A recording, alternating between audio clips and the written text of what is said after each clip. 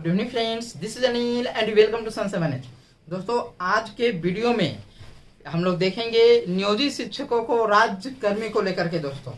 राज्य कर्मी उन्हें कैसे मिलेगा? लगभग तकरीबन दोस्तों, अब स्पष्ट हो चुका है। यह है पालीगंज के विधायक माननीय संदीप सौरभ सर, दोस्तों।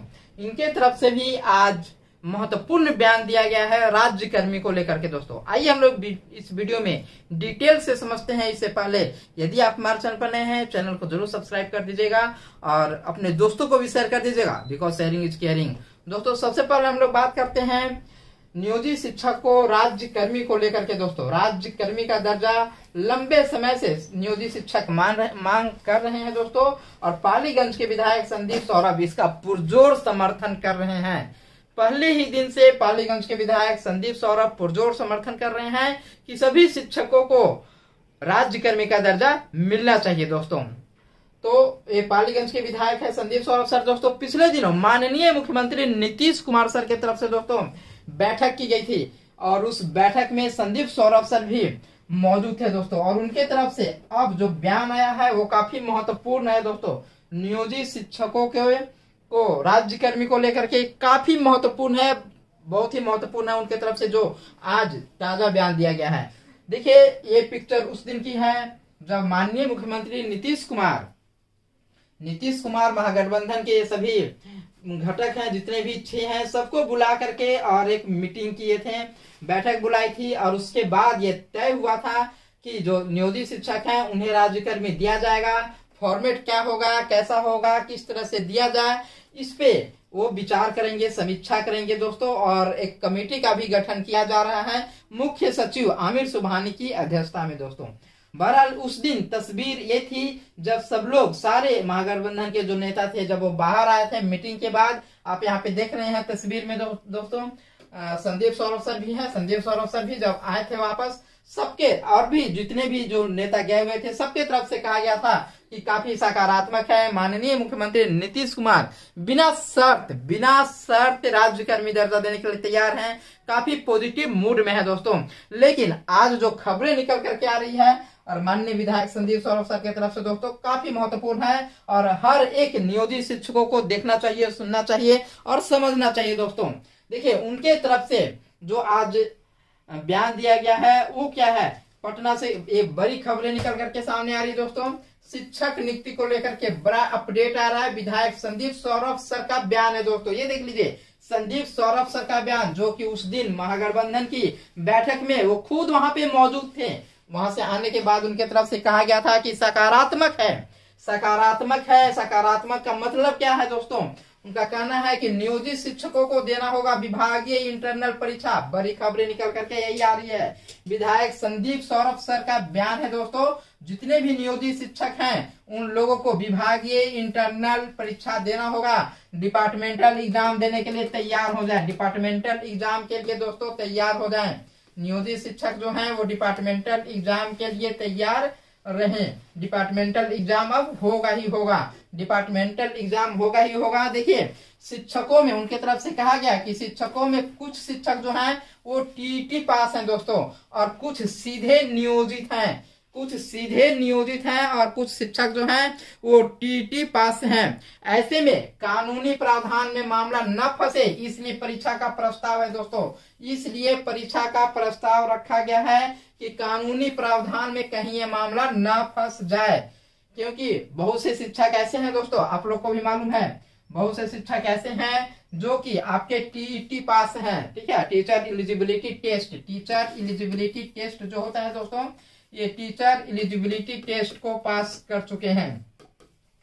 ठीक है? टीचर इलिजिबिलिटी टेस्ट ये पास है। या तो वो सीटेट पास कर चुके हैं, या तो फिर वो बीटेट पास करके उनकी बहाली हुई है दोस्तों। सीटेट या बीटेट पास करके उनकी बहाली हुई है। लेकिन कुछ शिक्षक जो है दोस्तों साफ़ साफ़ कहना उनका, कुछ शिक्षक ऐसे हैं जो सीधे नियोजित हुए हैं। सीधे नियोजित, देख लीजिए, कुछ शिक्षक ऐसे हैं जो सीधे नियोजित हैं। और ऐसे में यदि परीक्षा नहीं लिया जाता है तो कानूनी प्रावधान में मामला फंस सकता है। कानूनी प्रावधान में मामला फंस सकता है। लोग हाईकोर्ट चले जाएँगे। लोग हाई कोर्ट चले जाएँगे और इसी से बचने के लिए, इसी से बचने के लिए डिपार्टमेंटल एग्ज़ाम होना बहुत ही ज़रूरी है दोस्तों।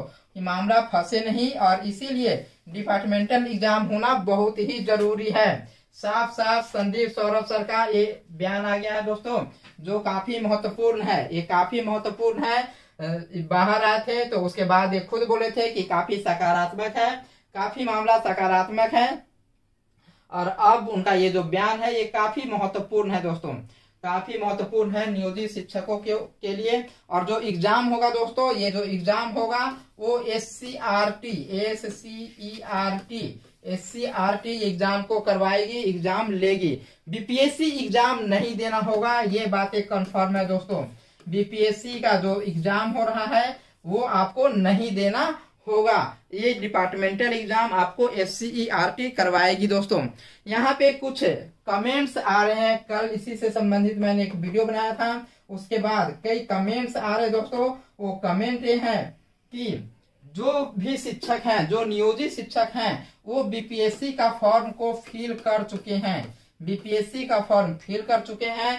तो क्या वो इस एग्ज़ाम को में बैठे बीपीएससी का वो एग्ज़ाम दे या नहीं दे?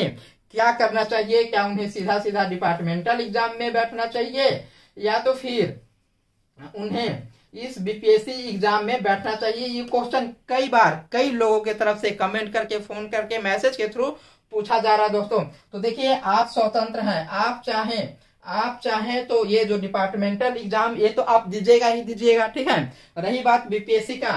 तो बीपीएससी एग्ज़ाम देने के लिए आप स्वतंत्र हैं। आप दे भी सकते हैं, ठीक है? मान लीजिए मान लीजिए कि आप अपने घर से, आप जहाँ चाहते हैं कि आपका जहाँ जॉब हो, वहाँ से आप 300 400 किलोमीटर दूर पे हैं, ठीक है? यदि आप अभी का, अभी भी पीएससी का एग्ज़ाम आप दे देते हैं, और यदि बहाली, जैसा कि सरकार की तरफ़ से कहा गया है कि नवंबर, दिसंबर तक सबका सबको बहाल कर दिया जाएगा। सब लोग अपने अपने विद्यालय में होंगे ज्वाइनिंग लेटर दे दिया जाएगा ज्वाइन करवा लिया जाएगा। और यदि आपका मार्क्स अच्छा आता है मार्क्स अच्छा आता है मेरिट अच्छा आता है तो आप अपने होम डिस्ट्रिक्ट में आ सकते हैं।